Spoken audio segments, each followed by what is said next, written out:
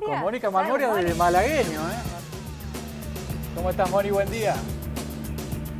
Así es, chicos. Buen día de nuevo, ¿cómo están? Y yo no les voy a demostrar, por ejemplo, eh, que tengo frío, que está frío en Malagueño, está frío en Villa San Nicolás. Pero bueno, ya salió el solcito, está totalmente despejado, así que se va a poner lindo. Ya se siente el vientito que no sentíamos esta mañana, ya se siente, por lo menos aquí en Villa San Nicolás. Y se han juntado los vecinos esta mañana y nos han llamado. ¿Por qué? Porque tienen muchísimas carencias. Ellos pertenecen a Malagueño pero se sienten un poco olvidados. ¿Es así, Elida? Buen día. Hola, buen día, Mónica. Sí, justamente, eh, necesitamos muchas cosas acá en este barrio. Eh, por ejemplo, eh, acá hay muchos ofidios, eh, yarará, y acá en este dispensario no hay suero antiofídico, tampoco hay ambulancias permanentes, y este barrio no es hasta, hasta la mitad donde creen todos, sigue mucho más hasta arriba de las montañas. Hay 5.000 habitantes aquí. ¿Qué les han dicho cuando ustedes pidieron, aunque sea una ambulancia? Sí, eh, bueno, nos dijeron que no, que solamente cuando hay 25.000 personas, una ambulancia. Así me dijo el secretario de salud. ¿Han encontrado yararás en, el- en los patios de las casas, de las viviendas? Pues sí, eh, en mi casa, eh, justamente, eh, que la tengo alambrada con todos los pastos cortados, dos perras han sido mordidos por yarará el jueves y el viernes al vecino de enfrente. Y un vecino del otro lado levanta un camioncito del niño, una yarara. Ayer otra yarara en otra casa. Este, y no tenemos suero, no hay suero antiofídico. Afortunadamente, hasta ahora no hubo ningún accidente entre eh, las yararás y los niños, ¿no? Gracias a Dios yo he estado tratando de ver una casuística acá y no, no, no me han dicho nada. Pero si llegase a ser mordido un niño y del fondo donde no hay ambulancia, Sin suero antiofídico, sin ambulancia, ¿qué otras carencias tienen? Buen día. Eh, buen día. Eh, bueno, acá las carencias son múltiples. Acá es como salir a correr un rally en las calles. Esta calle tiene adoquinado, pero es hasta la esquina. Y más allá es una colección de pozos impresionante. No, no hay reparación en, en todo lo que son calles.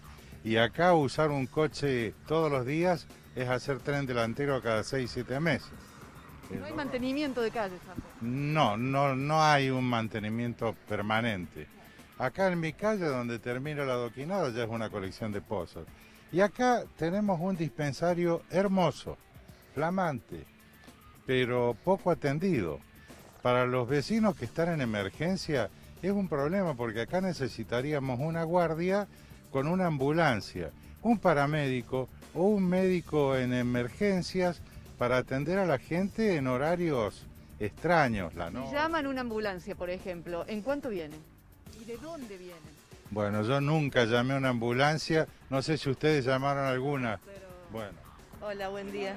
Pero hemos escuchado que se demora muchísimo la ambulancia, o sea, no, no llega ahí nomás. Después de media hora, 40 minutos, todo dependiendo. ¿De dónde viene? ¿De malagueño? Sí, de malagueño, supuestamente de malagueño, sí. Me han dicho también que estos 5.000 habitantes de Villa San Nicolás no tienen bancos, por ejemplo, no tienen cajeros. No, no tenemos cajero, nada. Tenemos que ir, digamos, con el tema de la pandemia, eh, había que ir a Malagueño o si no a Carlos Paz, pero por ahí no te dejaban ir, no te dejaban pasar, nada. Eh, faltan muchas cosas y cosas básicas, digamos, como si no tenemos ni, ni parada de colectivo.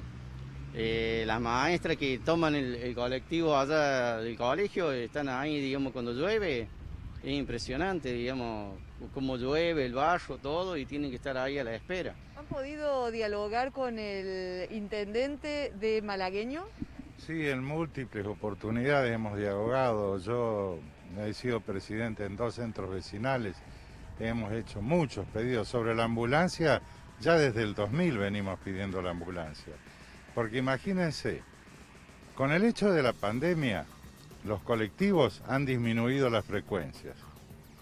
O sea, acá tenemos un colectivo cada hora, hora y pico. Una emergencia, una persona carenciada que no tenga medio de movilidad, está bien, bien embromada. No, no tiene muchas posibilidades. Y es una pena teniendo estos edificios que no estén habilitados y no estén funcionando al 100%. Realmente esta es muy buena obra, pero necesitamos que funcione. Muchísimas gracias. Los vecinos de Villa San Nicolás que se han llegado a este móvil nos han llamado para eh, que conozcamos las carencias que se sienten olvidados, que se sienten abandonados, las calles en mal estado, el dispensario que no tiene suero antiofídico ante esta preocupación de los ofidios dentro de las viviendas, el jardín de infantes que tampoco está mantenido como corresponde, han comenzado las clases más tarde, han comenzado, pero con un patio, nos contaban los vecinos, que no es el adecuado para niños que juegan allí. Bueno, son muchos los problemas que plantean estos vecinos. Vamos a ver si eh, llega algún tipo de solución para ellos en los próximos días. Adelante ustedes, chicos.